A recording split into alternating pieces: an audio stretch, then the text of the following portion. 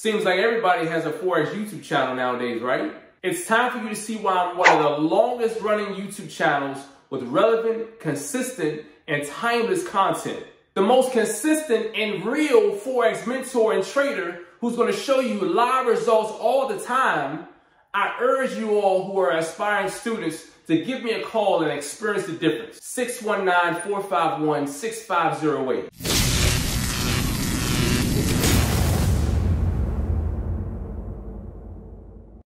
All right, so by now, most of you should know that my name is Yusef Scott. I'm the guy behind the So Darn Easy Forex University. I'm also better known as the Forex Goat Online. If you're watching this video and you're in need of Forex training, whether it's day trading, swing trading, you know, crypto, scalping, indices, whatever it may be, go and check out www.sodarneasyforex.com and see the many options I have that could best suit you. All right. So listen, um, as I tell you guys all the time, I'm very grateful and thankful to have you guys here watching yet another video of mine. If you're watching this video and you're not yet subscribed to this channel, go ahead and click on that subscribe button at the bottom and make sure you also follow us on social media because we're on Facebook and Instagram as well. So listen, um, I wanted to show you guys what I've been able to do. I've been extremely busy lately, um, very tiring, um, very busy. But one thing that, that doesn't change is my ability to crush on the US 30. All right. Now, I'm, I'm just going to tell you guys something. There's something that we had gone over earlier today during training. I was telling my students how, you know, you can have a cluster of, of candles moving about in one area, but there's one thing that remains constant. And that one thing that's constant is that level of support and resistance that's being respected. All right. And that's pretty much the constant in my life in terms of trading on the US 30. I'm constantly crushing the US 30, regardless of what day it is. If I go into the market today, I crush the market. If I get busy for the next two days, I come back on the third day, I crush the market again. All right. But I want to show you guys what I've been able to do in the, in the US 30 market today, uh, where I was able to in just under, well, let's say just over three minutes. I want to show you guys what I was able to do. Check this out. All right, so listen, I want to show you guys why I choose to only trade on the US 30. All right, how about closing out like 25, 26,000 in a little over three minutes? Watch this. All right, so you guys see this right here? Check this out. Let me show you this. So this market actually uh, went down last week crazy. I'm taking this market up. Show you guys this. Take it up. Oops. One, two, three, four, five, six, eight, nine, and ten. All right. Timing is very important.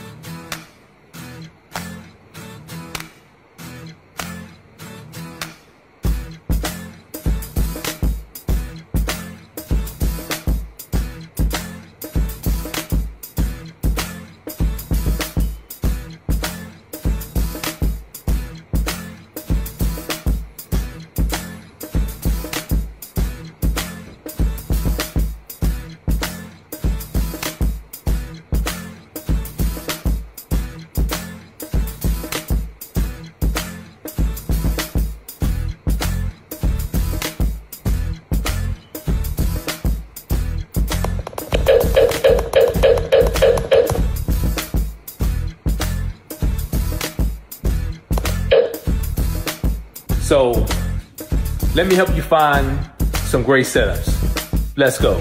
So, you know, as you guys can see, I've been able to crush the US 30 yet again.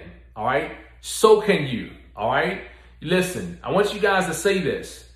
I am a great Forex trader. That's one thing that I believe. I believe that there are far, um, you know, there's just a lot of great Forex traders out there. The problem is, and let me say this, when I say great Forex traders, I mean, you can look at the market, you can determine which way the market is moving. All right. You can, you can, you can determine, okay, this market is going to go up. This market is going to go down. You're able to do that. There are some great traders out here. But the problem is, is what you do after you get into the market. All right. You're trading on the market, you're doing great.